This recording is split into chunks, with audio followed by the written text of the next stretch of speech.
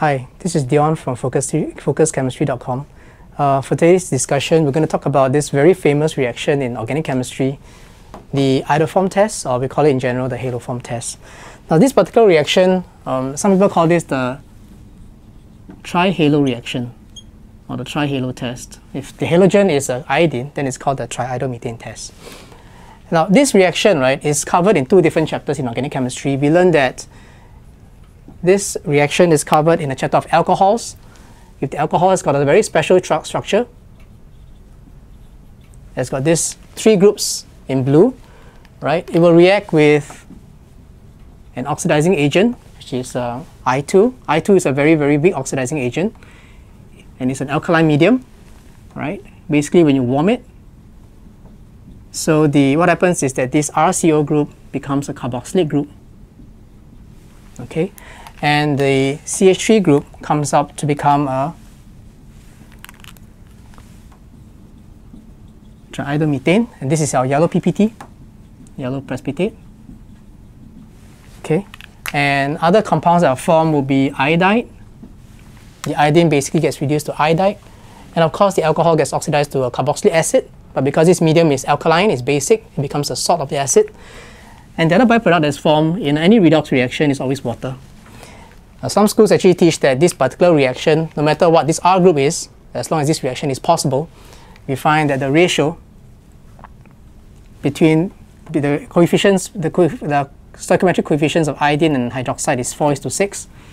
Then you put a 5 behind here and a 5 behind here. This gives you the stoichiometric coefficients for this reaction. We also learned that in the next chapter after this is taught in schools, after the alcohol chapter, people normally teach the carbonyls chapter. Now the carbonyls chapter, right, certain forms of carbonyls also undergo this iodoform test. But you need to have this particular structure where there's a double bond O and another CH3 again. Now you notice from the first reaction, where the CH3 goes to, the CH3 basically from the alcohol goes into the yellow solid. Same thing with this, the carbonyl, the carbonyl undergoes the triiodomethane test, will react with the same reagents, and it's also warm. And surprisingly, the products are exactly the same. So the carbonyl becomes a carboxylate salt because it's alkaline, and then the CH3 group, the methyl group, will get removed from the organic compound to form a yellow precipitate again. And the other products will be also iodide and water for this because iodine is also reduced to iodide. Iodine is the oxidizing agent here and water is the other byproduct. Alright, but the funny thing is that the ratio for this stoichiometric ratio for the second reaction is different from the stoichiometric ratios from the alcohol reaction and the stoichiometric ratios are 3, 4, 3, 3. Now many students when they learn these two reactions in these two chapters, they're taught in two different chapters, they always think of these two reactions as totally different reactions. But I'm gonna, what I'm going to show you now, right, is I'm going to show you that actually this entire reaction, these two reactions are actually linked together in the same mechanism. All right? And that is, the reaction actually starts from the alcohol, and the carbonyl is going to be the intermediate for this reaction. The carboxylate group is going to be the final product. So I'm going to show you the mechanism of this iodoform test. And we'll see that you're going to start with this alcohol as a first step, then the carbonyl is going to be the intermediate. All right? So let's take a look at the mechanism.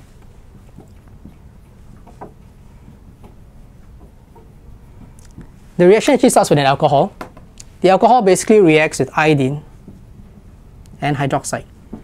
Now, if you studied the group 7 chapter, we learned that iodine and hydroxide basically forms a very unstable intermediate called the iodate 1 ion. So basically the iodine and hydroxide, alkaline iodine, forms this very unstable oxidizing agent, which is even stronger than iodine. And what happens is it's going to oxidize this alcohol to form a carbonyl. So what happens in this oxidation process is that these two H's, these hydrogen atoms, gets removed because oxidation is removal of hydrogens. And what happens is the two hydrogens, after getting removed, the alcohol now is left with a methyl ketone, methyl carbonyl, which is actually the reaction in the carbonyl in the carbonyl chapter. So what you notice is that the first step of this reaction is that the alcohol, which is, has got CH3 group, undergoes oxidation by OI minus and it forms a methyl carbonyl. All right. If you want to balance this equation, you just need to put basically in a balance equation. We normally put the oxidizing agents on the arrow. and we balance it by putting the two H's on the right from one water. You put one oxygen here, this is how you balance the first equation. So the product of the first step is actually the methyl carbonyl, the methyl carbonyl, which actually is the reaction that we learned in the carbonyl chapter. Now, after the first step of this mechanism, where the alpha, this uh, methyl alcohol gets oxidized become a methyl carbonyl, what happens in the next step, right, is an interesting, is about the interesting property of this methyl carbonyl. Now, the methyl carbonyl basically, if you look at the structure, okay, it contains this CH3 group, okay, and with this carbon is called the alpha carbon.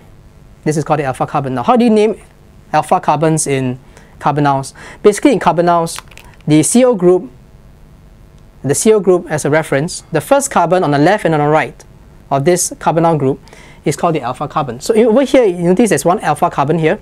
And of course, if the R group contains other carbon atoms, then of course there's an alpha carbon here. So the key thing is that this methyl carbonyl has got at least one alpha, one alpha carbon with three hydrogens attached to this alpha carbon. Now this hydrogen here that's attached to the alpha carbon of a carbonyl has got a very interesting property and that is this hydrogen is actually slightly acidic. Now why is it acidic? Because after this hydrogen is lost as an acid in a reversible reaction, you find that the negative charge is on this carbon with the two remaining H's and the proton is lost. Now this particular anion, called the enolate ion, this particular ion, right, uh, there's a carbon with a high electron density because of the extra electron here, and a CO group which has got high electron density because of the double bond here. These two regions of high electron density separated by a single bond always results in this electron traveling from this carbon to this carbon to this oxygen and shifting back and forth. This spare electron here is able to travel within between these three carbons, these three atoms. And this phenomenon where the electron is delocalized, what we call this, this is called a resonance effect. Resonance effect basically in organic chemistry means the delocalization of electrons and this delocalization always creates stability. So that tells you that the conjugate base of this particular carbonyl is stable and therefore this hydrogen can be lost as a acidic hydrogen. But bear in mind, even though this is acidic, it's only slightly acidic, which means if you compare the acidity of this methyl carbonyls, actually is more acidic than a usual hydrocarbons hydrogen, but it's nowhere as acidic as an alcohol or a phenol or a carboxylic acid. These three compounds, the acidity is much stronger, much higher than the alpha carbon's acidity over here. But nevertheless, right, this is slightly acidic and therefore uh, this hydrogen can be removed as a proton.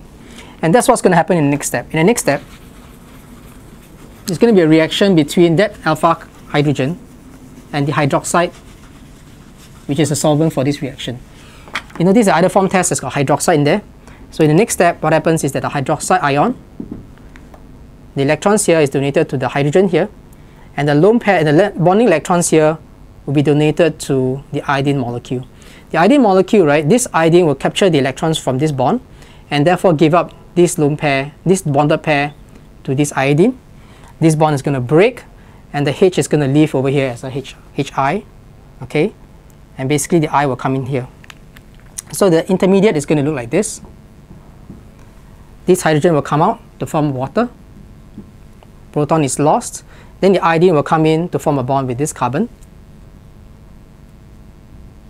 I'm going to show the iodine in the form of, sorry, I'm going to draw a bond here, and that's where iodine is going to be.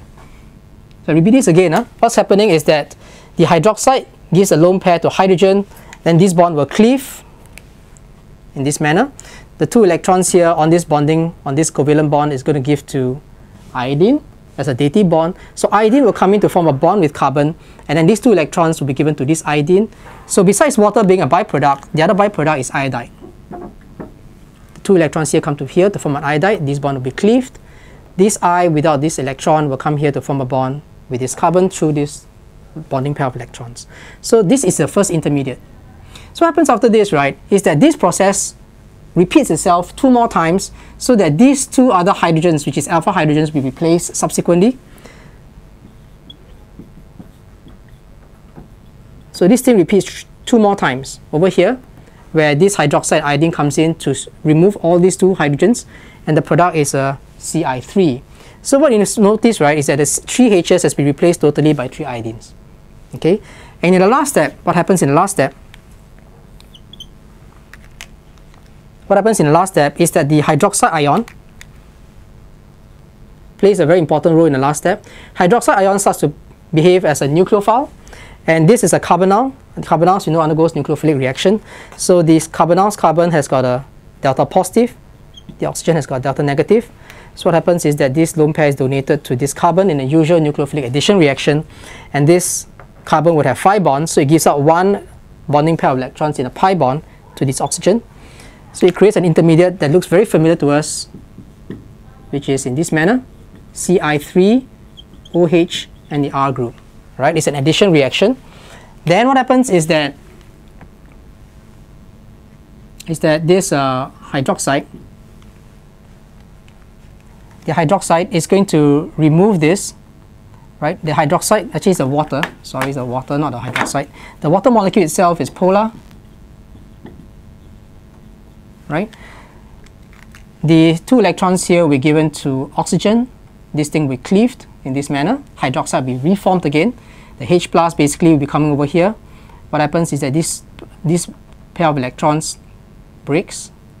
Okay, this thing breaks. This, this pair of electrons come back here to form a double bond. Double bond is formed here. This bond is cleaved. And then basically what happens, it forms Ci3 minus. Ci3 minus with a H forms CHI3, which is a yellow PPT. So it's a H plus that comes over here to form a bond with Ci3 minus to form HCHI3. This one of its pair of electrons of oxygen will come back to form a double bond. And the carboxylic acid is formed. Now the carboxylic acid will not be the final product because this particular reaction happens in an alkaline medium. So the base in the very final step basically will strip off the H from here. So this acid here will finally become a carboxylate ion because the medium is basic. And there you have it. You've got one of the products here, the carboxylate ion, right? And the CHI3, which is essentially this compound here. And this is basically how this, this reaction happens. So what I'm trying to say is that you are learning this particular same reaction in two different chapters, okay? Actually, you look at mechanism, right? The mechanism actually starts with the alcohol in the alcohol chapter, where the carbonyl is the intermediate, and therefore you learn the same reaction in the carbonyl chapter as well. So if you can start the reaction from the alcohol, you can also start the reaction with the carbonyl. And the end product will still be the same as a carboxylic ion. Right? One last thing is this. If you notice, right, there are three H's here, and therefore this particular step, we call this step 2. This is step 1. This is step 3. This particular step, right, repeats itself three times because the three H's will be removed to substitute with three iodines. If your carbonyl doesn't contain 3 H's but contains 1 H with 2 iodines, that means if your carbonyl that you start off with is not 3 H's but it's something like that, will this reaction still take place? The answer is yes. It's just that this removal of the alpha hydrogen is just in one step. It comes into this step immediately. So any compound which has got not only just a CHI, CH3, if it's also a CHI2 or CH2I, as long as there's only one H, at least one hydrogen atom, alpha hydrogen atom, you are undergo positive iodoform test. Alright, it doesn't need to have all the three H's. It can be substituted with two I's or one I, and this iodoform test can still happen, and you basically still see the yellow precipitate. Alright, that's all I have for you today about the haloform test. Thank you for watching. This is Dion again, signing off from focuschemistry.com. Thank you.